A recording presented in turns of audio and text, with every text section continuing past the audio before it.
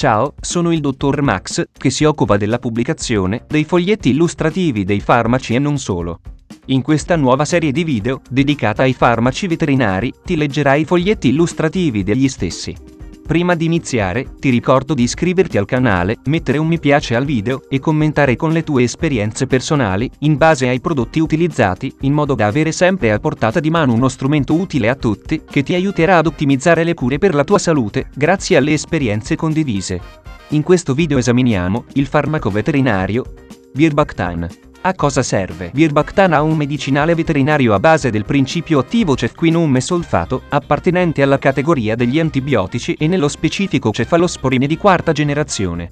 È commercializzato in Italia dall'azienda Virbac SRL.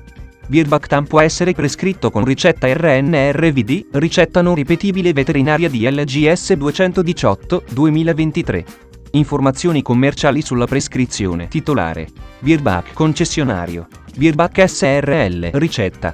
RNRVD, ricetta non ripetibile veterinaria di LGS 218-2023. Principio attivo. Cefquinum e solfato. Gruppo terapeutico. Antibiotici. Forma farmaceutica. Fiala iniettabile. Confezioni. Virbactan 150 mg scatola da 24 siringhe. Principio attivo. Ogni siringa pre-riempita da 3 G di contiene cefquinome, come solfato, 150,0 mg. Indicazioni per il trattamento delle mastiti subcliniche al momento della messa in asciutta e la prevenzione di nuove infezioni batteriche della mammella durante il periodo di asciutta nella vacca da latte causate dai seguenti microorganismi suscettibili al cefquinome. Streptococcus uberis, Streptococcus dysgalactiae, Streptococcus agalactiae, Staphylococcus aureus, Stafilococchi coagulasi negativi.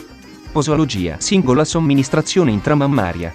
Il contenuto di una siringa, pari a 150 mg di cefquinome, deve essere infuso delicatamente nel capezzolo di ogni quarto, subito dopo l'ultima mungitura. Prima della somministrazione, la mammella va svuotata completamente. Il capezzolo ed il suo orifizio devono essere ben puliti e disinfettati con la salvietta detergente fornita.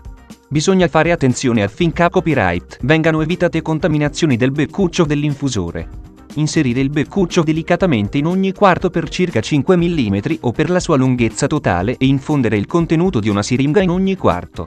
Diffondere il prodotto massaggiando con delicatezza il capezzolo e la mammella. La siringa deve essere utilizzata una sola volta. Avvertenze. L'uso del prodotto si deve basare sul test di sensibilità dei batteri isolati dagli animali. Se non è possibile, la terapia deve essere basata sulle informazioni epidemiologiche locali sulla sensibilità dei batteri bersaglio, regionali, aziendali. Non usare la salvietta detergente su capezzoli lesionati. In caso di uso erroneo durante la lattazione, il latte non può essere destinato all'alimentazione umana per 35 giorni.